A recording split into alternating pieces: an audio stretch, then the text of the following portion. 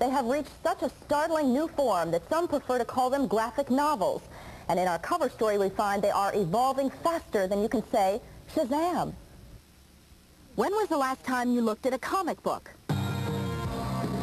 You probably thought they were for kids. Well, take a look now because comic books have grown up. They're just not for kids anymore, most of them. Perhaps they used to be, but now definitely they're not.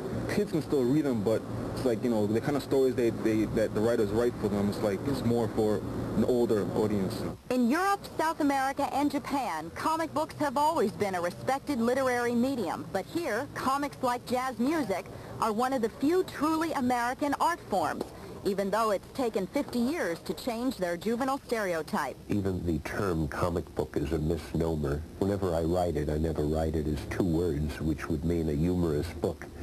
But it's one word, it's a comic book, which really means an illustrated story. The new genre is typified by more reality than fantasy. Costumed heroes now live in real cities and battle personal problems as well as villains. You can relate to the character now, whereas years ago, it, like you said, they were goody-good two-shoes, and they always come up on the right side, and they never got hurt, and their costume never got dirty.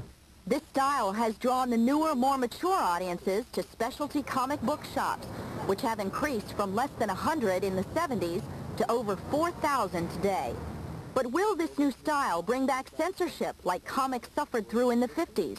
Comic books are an important contributing factor in many cases of juvenile delinquency. We always have to be aware that we're catering now to a very broad spectrum of readers, and we have to be very careful about what goes on each page.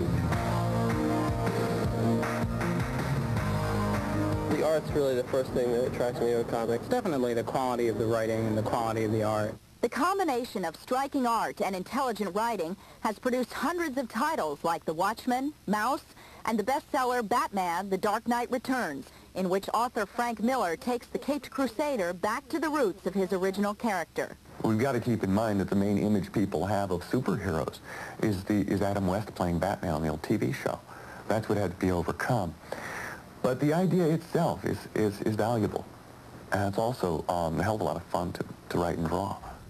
In the 50 years since Superman and Batman first appeared, heralding the age of comic books as we know them now, comics have come a long way. Retail sales have now grown to $350 million, and that's up from less than 200 million just four years ago. That's interesting. Did you have a favorite comic book? Yeah, I, not a superhero. I like the Archies. Yeah, I did. I like Did the you? Archies too, but I don't know if they translate to this philosophy today. I don't know how much literary license you can take with Moose and Jughead. Jughead, I know. Lots more to tell you about when we return. We'll have these stories. Coming up, Star Trek's William Shatner